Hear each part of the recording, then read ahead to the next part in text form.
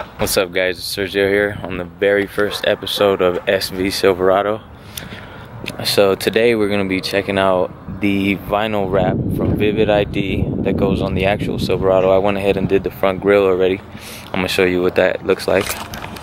So I went ahead and did that one. So today we'll be going over how to do it. It's pretty easy, it took me about 10 minutes.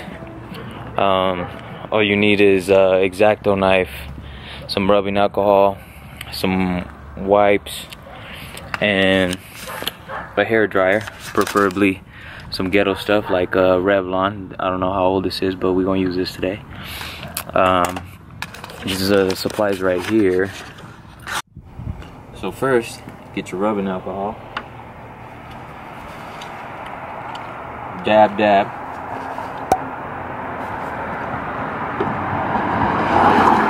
Get close to the emblem. Don't get it on your paint. Don't rush it.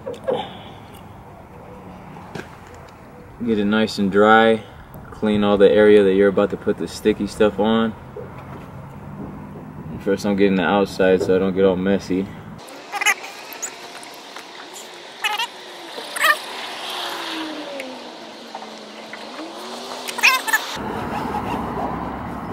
If you hear the squeak, it's working.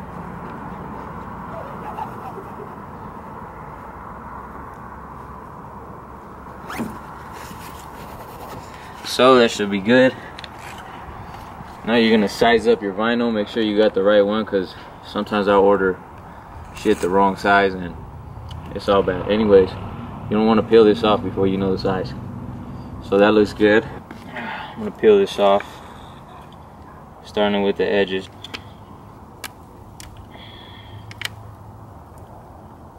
Says.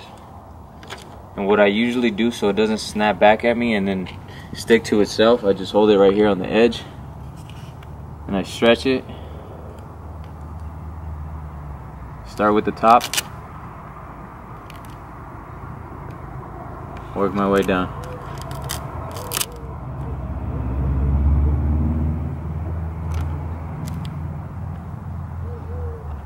And like I said, this is Vivid ID. I ordered it for about uh, 12 or 13 bucks off Amazon. So it's fairly cheap and it's easy to do. So once you see it on there, kind of crease the corners with your nail. So next, you grab your hair dryer. Is it plugged in? Nice. Then you go ahead and, no, I'm just kidding.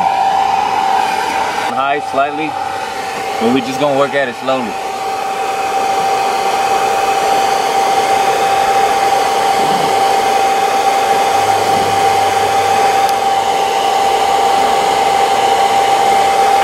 So what this does is it's shrinking it down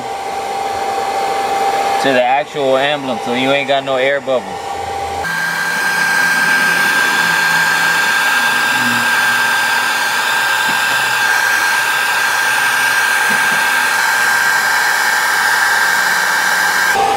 Once you kind of shrink it down, you just get your thumb. It's gonna be hot, a little hot, so watch out, don't burn your thumb. And just push. Push up or down, but make sure it's getting the texture.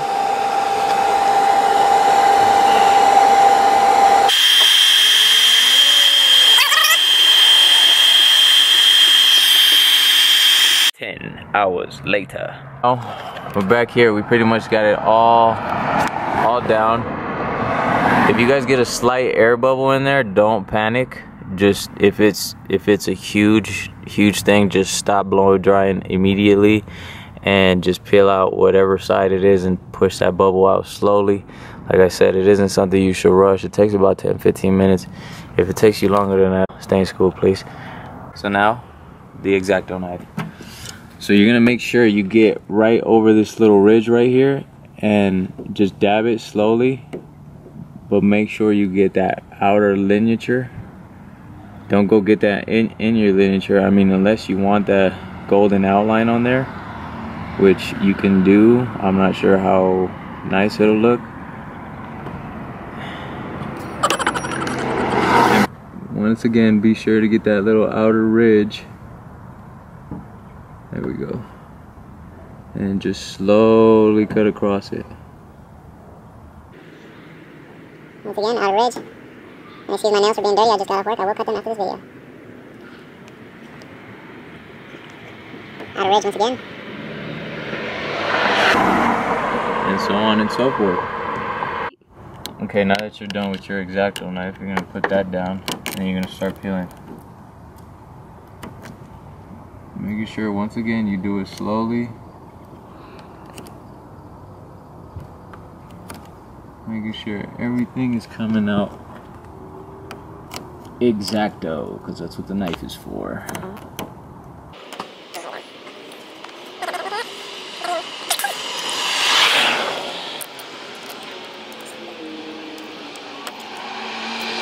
Bam. So now, there you have it. Turn the hair dryer back on. And then you get your edges.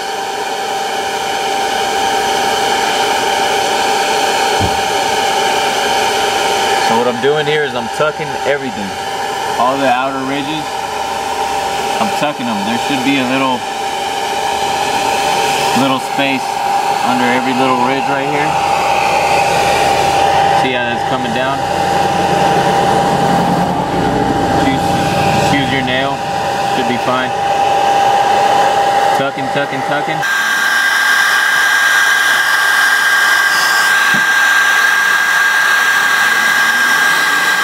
After you're done tucking, hit the bow tie one more time. Thumb, boom, boom. Do it all the way down. Get it nice and hot. Run it all the way up. Voila, you're done. So there you have it guys.